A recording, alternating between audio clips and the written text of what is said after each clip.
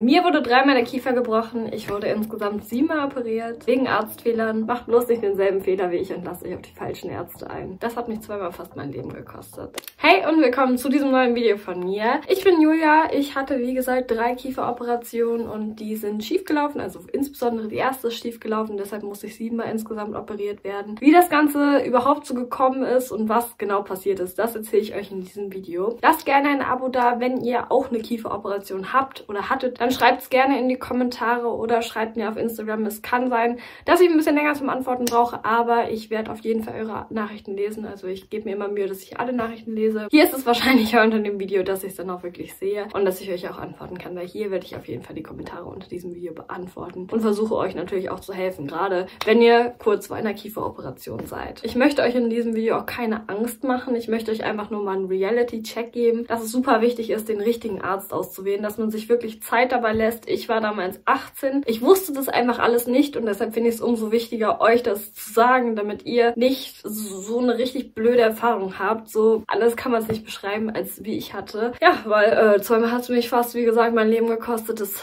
war alles sehr, sehr blöd. Angefangen hat es damit, dass einfach mein Biss, ich hatte einen offenen Biss und deshalb mussten meine Zähne korrigiert werden. Also der ganze Kieferstand musste korrigiert werden. Ich hatte einen zu kleinen Oberkiefer. Das heißt, ich hatte einen offenen Biss, praktisch die Kiefer stehen so zueinander und nicht so wie bei normalen, gesunden Menschen, sage ich mal. Und dann muss es halt korrigiert werden, heißt mein Oberkiefer wurde einmal hier abgetrennt und in der Mitte durchgeschnitten. Das hört sich gerade richtig brutal an. Aber so war's. Es war ich weiß noch, als ich aufgewacht bin und ich bin einfach vor dem Spiegel danach zusammengebrochen, weil ich so schockiert von mir selber war. Ich habe mit vielem gerechnet, aber nicht, dass ich so schlimm aussehe, weil insgesamt war meine Gaumennaht-Erweiterung schlimmer als meine Bimax. Bei der Bimax hatte ich dann einen richtig guten Chirurgen, weil ich mich auch intensiv vorher damit beschäftigt habe, mit der Suche danach. Aber meine Gaumennaht-Erweiterung, da wurde wirklich gewaltig gefuscht. Es wurden viele Fehler gemacht. Ich war damals nicht rechtsschutzversichert und deshalb konnte ich da auch nichts gegen machen. Ähm, ich kann nur euch jetzt gerade diesen Tipp geben. Achtet auf den richtigen Arzt, weil ähm,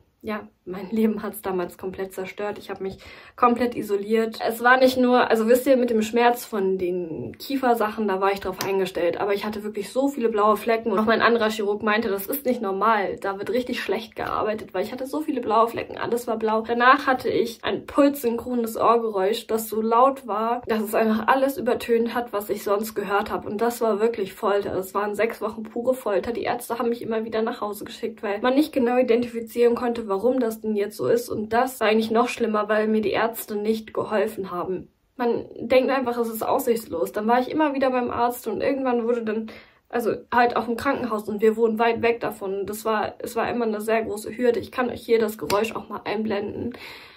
Ich möchte es gerade nicht hören, weil das ja, es ist einfach furchtbar. Ich hatte das sechs Wochen in der Lautstärke. Ich habe dieses Video aufgenommen, indem ich mein Handy mit dem Mikro an mein Ohr gehalten habe. Das heißt, andere konnten dieses Geräusch auch aus meinem Ohr hören.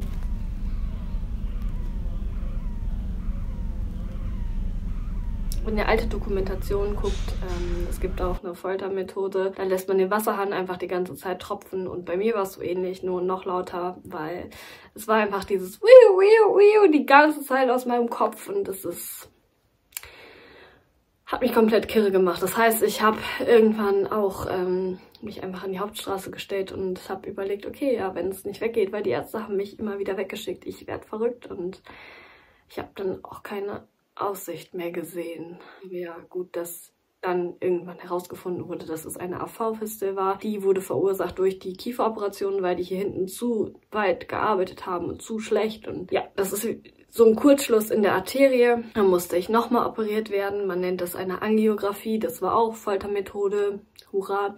Du bist bei Verstand. Du liegst auf einem OP-Tisch. Dir steckt ein Arzt eine Nadel in deine Leiste, also an deiner Hüfte und geht damit in deinen Kopf, sagt dir gerade, hey, wir sind gerade beim Herzen und jetzt sind wir hier und jetzt hier und hier. Ich weiß übrigens nicht, ob ich hier eine Triggerwarnung sagen muss. Also wenn es euch triggert, dann schaltet ab. Aber es ist, ich kann es nicht anders sagen, es ist eine blöde Geschichte von mir aber die gehört zu meinem Leben dazu. So. Und dann hat er mir immer gesagt, hey, wir sind jetzt gerade im Kopf und jetzt bitte einmal stillhalten. Dann wurde mir Kontrastmittel in mein Gehirn, also durch die Venen und Adern und Arterien und Kapillaren sind da ja auch gespritzt. Dann wurde ein Röntgenbild gemacht, dann hat man meine Gefäße gesehen auf dem Bild. Dann ist es wirklich so, man sieht dann Sternchen, weil viel zu viel Zeug durch dein Gehirn gerade geschossen wird. Und äh, dann wurde ich gefragt, ob ich ob alles gut ist. Also die checken dann, ob du klar bei Verstand bist. Da habe ich halt ja gesagt. Und naja, dann haben sie halt die AV-Fiste gefunden. Da musste ich operiert werden. Man darf nach diesen Eingriffen immer 24 Stunden sich nicht bewegen. Deshalb habe ich, glaube ich, so einen hohen Bewegungsdrang immer, dass ich irgendwie irgendwas machen muss. Weil ich schon dreimal in meinem Leben 24 Stunden ans Bett gefesselt war. Das war sehr, sehr dumm, weil du kannst wirklich, du darfst nichts machen. Du darfst nicht mehr auf Toilette gehen. Das heißt, du hast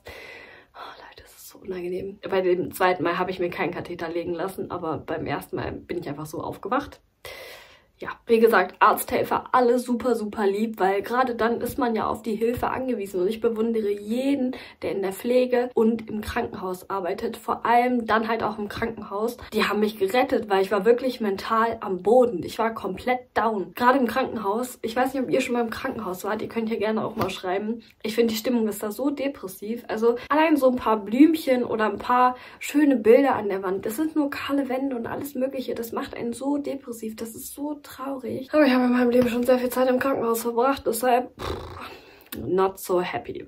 Dann habe ich irgendwann festgestellt, hey, ich höre auf meinem linken Ohr gar nichts mehr seit der Operation. Ja, was war passiert? Sie haben auch wieder irgendeinen Fehler gemacht und hat sich Wasser hinten hinter meinem äh, Trommelfell gesammelt, weil die haben mir Tamponaden in die Nase gesteckt nach meiner ersten Kiefer-OP. Das heißt, ich konnte auch eine Woche lang nicht durch die Nase atmen, weil ich hatte so Tamponaden in der Nase, dann eine Nasenschleuder. Das, oh, ich weiß noch, ich musste zu dem Ärztezimmer gehen und nach einer neuen Nasenschleuder fragen. Und ich konnte ja auch nicht sprechen, weil ich hatte eine Kieferoperation. Das war einfach alles Horror. Horror. So, dann war die Operation auch vorbei, weiß ich noch, war Nikolaus. Mich hat ein Pfleger im Nikolaus-Kostüm in den OP-Saal gefahren. Seitdem Trauma. Keine Worte. Ich meine, der hat's gut gemeint, aber es war nur so, ah. Mittlerweile ihr müsst bedenken, das ist bei mir schon ein paar Jahre her. Und damals, ich war echt geknickt von der ganzen Sache. Ich habe sehr viel geweint, sehr viel. Das ging mir echt richtig, richtig schlecht danach. Ähm, aber ich bin drüber hinweg und deshalb kann ich jetzt auch so offen darüber reden, aber die Zeit direkt danach war super, super hart. Dann hatte ich noch eine Kontrolluntersuchung für die AV-Fiste in meinem Kopf. Heißt, wir sind wieder auf dem Foltertisch. Es wird mir Kontrastmittel in meinen Kopf gespritzt.